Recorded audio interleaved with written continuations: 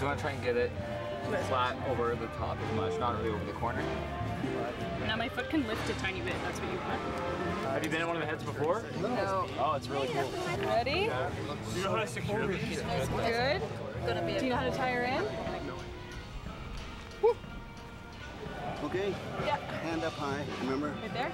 And pull it back so it bounces. Yeah. How are, how are his legs? And definition. Yes. Oh, that. Yes, that's nice. Very strong action. Oh, the, what happened? Yeah. like yes. And your you, you Pointing, Johnny. yes, pointing the hand, point with the hand on the hip. That's good. My name's Pat, and I'm one of the actors with the Salon uh, Theater Company, Salon McDonald. And today we're working in the park with a Shadowland Theater, and they are helping us build these giant puppets for a pageant on Canada Day. We're going to be walking down, uh, walking down Princess Street. With, uh, with these giant heads behind us, and we're going to be animating our Canada Day in the first capital piece. We'll have John A. will be leading. We'll Say we're walking down the street. Okay. This one.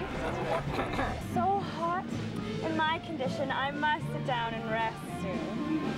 That MacDonald is nothing but scum. He's a liar.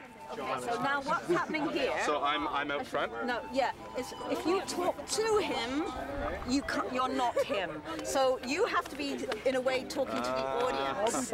Never is great because somebody can bring their hand up, but then watch it a little bit to see where Should I, they're be, should I be aiming to get my, my actions imitated by this? Liberals and Tories. We're all in this together. If you don't like what you hear, though, just cross the floor. I did. And I'm still alive. MacDonald is a liar. He's a cheater.